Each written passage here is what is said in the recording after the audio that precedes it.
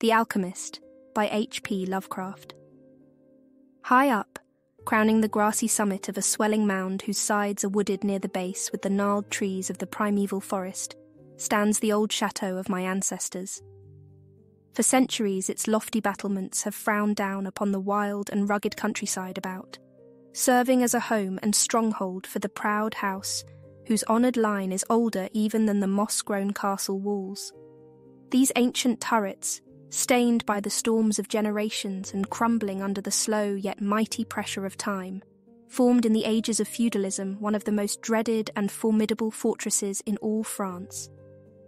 From its machicolated parapets and mounted battlements, barons, counts, and even kings had been defied, yet never had its spacious halls resounded to the footsteps of the invader. But since those glorious years, all is changed.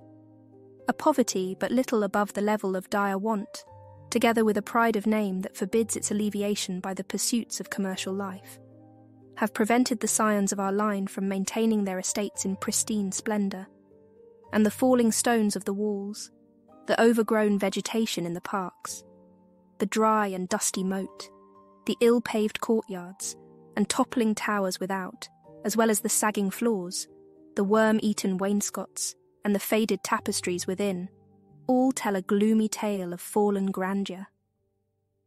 As the ages passed, first one, then another of the four great turrets were left to ruin until at last but a single tower housed the sadly reduced descendants of the once mighty lords of the estate. It was in one of the vast and gloomy chambers of this remaining tower that I, Antoine, last of the unhappy and accursed Comte de C, first saw the light of day, ninety long years ago. Within these walls, and amongst the dark and shadowy forests, the wild ravines and grottos of the hillside below, were spent the first years of my troubled life. My parents I never knew. My father had been killed at the age of 32, a month before I was born, by the fall of a stone somehow dislodged from one of the deserted parapets of the castle. And my mother having died at my birth, my care and education devolved solely upon one remaining servitor, an old and trusted man of considerable intelligence, whose name I remember as Pierre. I was an only child, and the lack of companionship which this fact entailed upon me was augmented by the strange care exercised by my aged guardian in excluding me from the society of the peasant children whose abodes were scattered here and there upon the plains that surround the base of the hill. At the time, Pierre said that this restriction was imposed upon me because my noble birth placed me above association with such plebeian company. Now I know that its real object was to keep from my ears the idle tales of the dread curse upon our line, that were nightly told and magnified by the simple tenantry as they conversed in hushed accents in the glow of their cottage hearths. Thus isolated, and thrown upon my own resources, I spent the hours of my childhood in poring over the ancient tomes that filled the shadow haunted library of the chateau, and in roaming without aim or purpose through the perpetual dusk of the spectral wood that clothes the side of the hill near its foot. It was perhaps an effect of such surroundings that my mind early acquired a shade of melancholy. Those studies and pursuits which partake of the dark and occult in nature most strongly claimed my attention. Of my own race, I was permitted to learn singularly little, yet what small knowledge of it I was able to gain seemed to depress me much. Perhaps it was at first only the manifest reluctance of my old preceptor to discuss with me my paternal ancestry that gave rise to the terror which I ever felt at the mention of my great house. Yet as I grew out of childhood, I was able to piece together disconnected fragments of discourse, let slip from the unwilling tongue which had begun to falter in approaching senility, that had a sort of relation to a certain circumstance which I had always deemed strange, but which now became dimly terrible. The circumstance to which I allude is the early age at which all the Comte of my line had met their end. Whilst I had hitherto considered this but a natural attribute of a family of short lived men, I afterward pondered long upon these premature deaths, and began to connect them with the wanderings of the old man, who often spoke of a curse which for centuries had prevented the lives of the holders of my title from much exceeding the span of thirty two years. Upon my twenty first birthday, the aged Pierre gave to me a family document which he said had for many generations been handed down from father to son and continued by each possessor. Its contents were of the most startling nature, and its perusal confirmed the gravest of my apprehensions. At this time, my belief in the supernatural was firm and deep seated, else I should have dismissed with scorn the incredible narrative unfolded before my eyes. The paper carried me back to the days of the 13th century, when the old castle in which I sat had been a feared and impregnable fortress. It told of a certain ancient man who had once dwelt on our estates, a person of no small accomplishments, though little above the rank of peasant. By name, Michel, usually designated by the surname of Mauvais, the evil, on account of his sinister reputation. He had studied beyond the custom of his kind seeking such things as the philosopher's stone, or the elixir of eternal life, and was reputed wise in the terrible secrets of black magic and alchemy. Michel Mauvais had one son named Charles, a youth as proficient as himself in the hidden arts, and who had therefore been called Le Sorcier, or the Wizard. This pair, shunned by all honest folk, were suspected of the most hideous practices. Old Michel was said to have burnt his wife alive as a sacrifice to the devil and the unaccountable disappearances of many small peasant children were laid at the dreaded door of these two. Yet through the dark natures of the Father and the Son ran one redeeming ray of humanity. The evil old man loved his offspring with fierce intensity, whilst the youth had for his parent a more than filial affection. One night, the castle on the hill was thrown into the wildest confusion by the vanishment of young Godfrey, son to Henri the Comte. A searching party, headed by the frantic father, invaded the cottage of the sorcerers, and there came upon old Michel Mauvais, busy over a huge and violently boiling cauldron. Without certain cause, in the ungoverned madness of fury and despair, the Comte laid hands on the aged wizard, and ere he released his murderous hold, his victim was no more. Meanwhile, joyful servants were proclaiming the finding of young Godfrey in a distant and unused chamber of the great edifice, telling too late that poor Michel had been killed in vain. As the Comte and his associates turned away from the lowly abode of the alchemists, the form of Charles Le Sorcier appeared through the trees. The excited chatter of the menials standing about told him what had occurred, yet he seemed at first unmoved at his father's fate. Then, Slowly advancing to meet the Comte, he pronounced in dull yet terrible accents the curse that ever afterward haunted the House of C. May ne'er a noble of thy murderous line survive to reach a greater age than thine. Spake he, when suddenly leaping backwards into the black wood, he drew from his tunic a phial of colourless liquid which he threw into the face of his father's slayer as he disappeared behind the inky curtain of the night. The Comte died without utterance, and was buried the next day, but little more than two and thirty years from the hour of his birth. No trace of the assassin could be found, though relentless bands of peasants scoured the neighbouring woods and the meadowland around the hill. Thus time and the want of a reminder dulled the memory of the curse in the minds of the late Comte's family, so that when Godfrey, innocent cause of the whole tragedy and now bearing the title, was killed by an arrow whilst hunting at the age of thirty two, there were no thoughts save those of grief at his demise.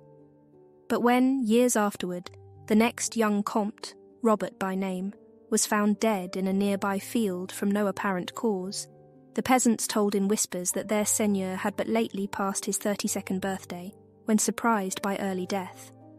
Louis, son to Robert, was found drowned in the moat at the same fateful age, and thus down through the centuries ran the ominous chronicle.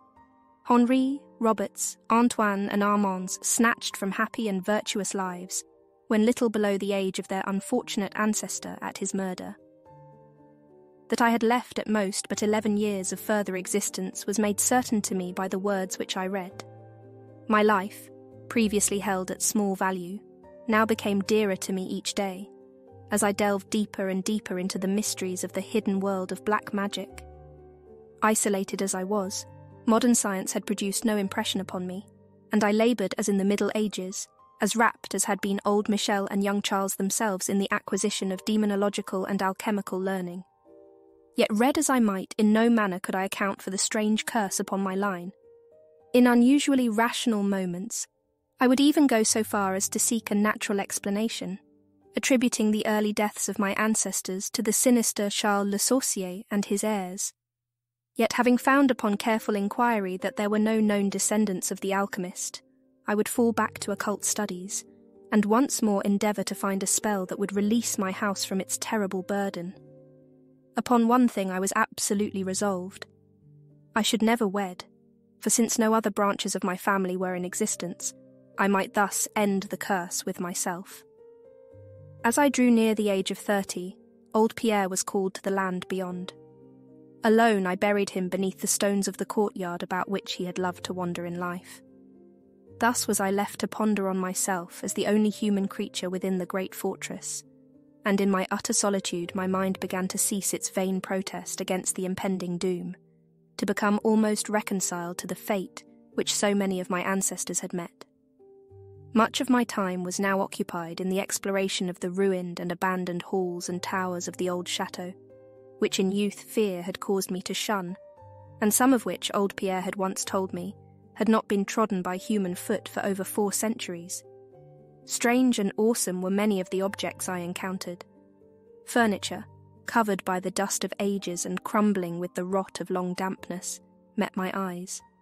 Cobwebs in a profusion never before seen by me were spun everywhere, and huge bats flapped their bony and uncanny wings on all sides of the otherwise untenanted gloom. Of my exact age, even down to days and hours, I kept a most careful record for each movement of the pendulum of the massive clock in the library told off so much more of my doomed existence. At length I approached that time which I had so long viewed with apprehension. Since most of my ancestors had been seized some little while before they reached the exact age of Comte Henri at his end, I was every moment on the watch for the coming of the unknown death. In what strange form the curse should overtake me, I knew not, but I was resolved at least that it should not find me a cowardly or a passive victim. With new vigour, I applied myself to my examination of the old chateau and its contents. It was upon one of the longest of all my excursions of discovery in the deserted portion of the castle, less than a week before that fatal hour which I felt must mark the utmost limit of my stay on earth, beyond which I could have not even the slightest hope of continuing to draw breath, that I came upon the culminating event of my whole life. I had spent the better part of the morning in climbing up and down half ruined staircases in one of the most dilapidated of the ancient turrets. As the afternoon progressed, I sought the lower levels, descending into what appeared to be either a medieval place of confinement or a more recently excavated storehouse for gunpowder. As I slowly traversed the niter encrusted passageway at the foot of the last staircase, the paving became very damp and soon I saw by the light of my flickering torch that a blank, water stained wall impeded my journey. Turning to retrace my steps, my eye fell upon a small trapdoor with a ring, which lay directly beneath my feet. Pausing, I succeeded with difficulty in raising it, whereupon there was revealed a black aperture exhaling noxious fumes which caused my torch to sputter, and disclosing in the unsteady glare the top of a flight of stone steps. As soon as the torch, which I lowered into the repellent depths, burned freely and steadily, I commenced my descent. The steps were many, and led to a narrow stone flagged passage which I knew must be far underground. The passage proved of great length and terminated in a massive oaken door, dripping with the moisture of the place, and stoutly resisting all my attempts to open it. Ceasing after a time my efforts in this direction, I had proceeded back some distance toward the steps, when there suddenly fell to my experience one of the most profound and maddening shocks capable of reception by the human mind. Without warning, I heard the heavy door behind me creak slowly open upon its rusted hinges. My immediate sensations are incapable of analysis.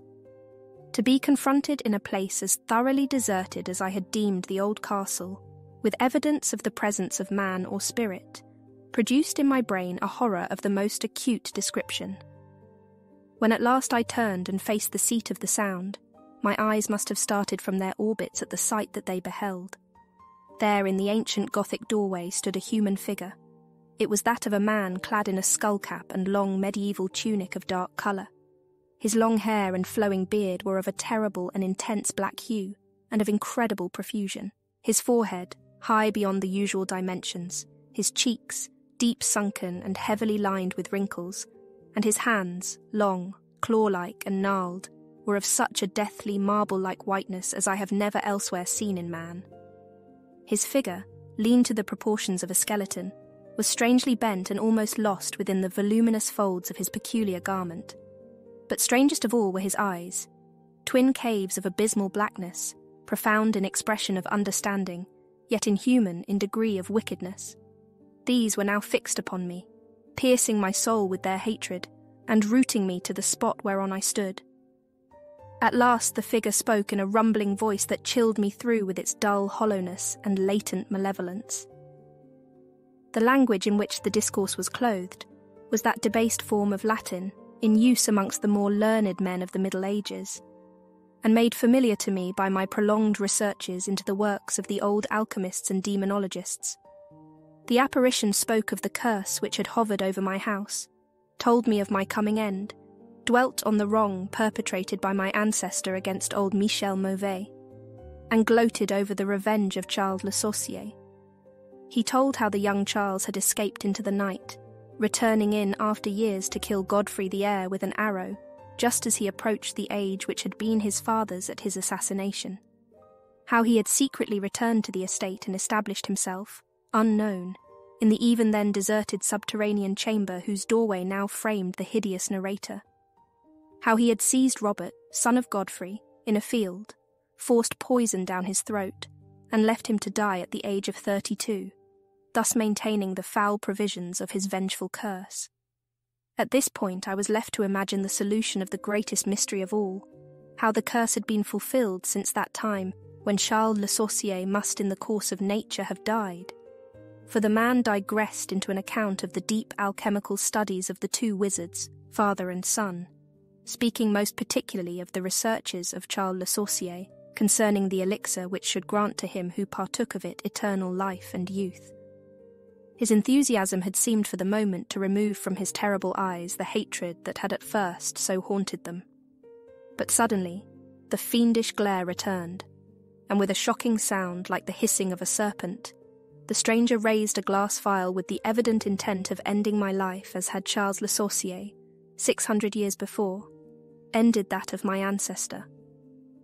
Prompted by some preserving instinct of self defense, I broke through the spell that had hitherto held me immovable, and flung my now dying torch at the creature who menaced my existence. I heard the phial break harmlessly against the stones of the passage as the tunic of the strange man caught fire and lit the horrid scene with a ghastly radiance. The shriek of fright and impotent malice emitted by the would be assassin proved too much for my already shaken nerves, and I fell prone upon the slimy floor in a total faint. When at last my senses returned, all was frightfully dark, and my mind, remembering what had occurred, shrank from the idea of beholding more. Yet curiosity overmastered all. Who, I asked myself, was this man of evil? And how came he within the castle walls? Why should he seek to avenge the death of poor Michel Mauvais? And how had the curse been carried on through all the long centuries since the time of Charles Le Sorcier? The dread of years was lifted from my shoulders, for I knew that he whom I had felled was the source of all my danger from the curse. And now that I was free, I burned with the desire to learn more of the sinister thing which had haunted my line for centuries, and made of my own youth one long continued nightmare. Determined upon further exploration, I felt in my pockets for flint and steel, and lit the unused torch which I had with me. First of all, the new light revealed the distorted and blackened form of the mysterious stranger. The hideous eyes were now closed. Disliking the sight, I turned away and entered the chamber beyond the Gothic door. Here I found what seemed much like an alchemist's laboratory. In one corner was an immense pile of a shining yellow metal that sparkled gorgeously in the light of the torch. It may have been gold, but I did not pause to examine it, for I was strangely affected by that which I had undergone. At the farther end of the apartment was an opening leading out into one of the many wild ravines of the dark hillside forest. Filled with wonder, yet now realizing how the man had obtained access to the chateau, I proceeded to return. I had intended to pass by the remains of the stranger with averted face, but as I approached the body, I seemed to hear emanating from it a faint sound, as though life were not yet wholly extinct. Aghast, I turned to examine the charred and shriveled figure on the floor. Then, all at once, the horrible eyes, blacker even than the seared face in which they were set, opened wide with an expression which I was unable to interpret. The cracked lips tried to frame words which I could not well understand. Once I caught the name of Charles Le Sorcier, and again I fancied that the words years and curse issued from the twisted mouth. Still, I was at a loss to gather the purport of his disconnected speech. At my evident ignorance of his meaning, the pitchy eyes once more flashed malevolently at me, until, helpless as I saw my opponent to be, I trembled as I watched him. Suddenly, the wretch, animated with his last burst of strength, raised his hideous head from the damp and sunken pavement. Then, as I remained, paralyzed with fear, he found his voice and in his dying breath screamed forth those words which have ever afterward haunted my days and my nights. Fool, he shrieked, can you not guess my secret? Have you no brain whereby you may recognize the will which has through six long centuries fulfilled the dreadful curse upon your house? Have I not told you of the great elixir of eternal life? Know you not how the secret of alchemy was solved? I tell you, it is I, I, I that have lived for six hundred years to maintain my revenge, for I am Charles Le Sorcier.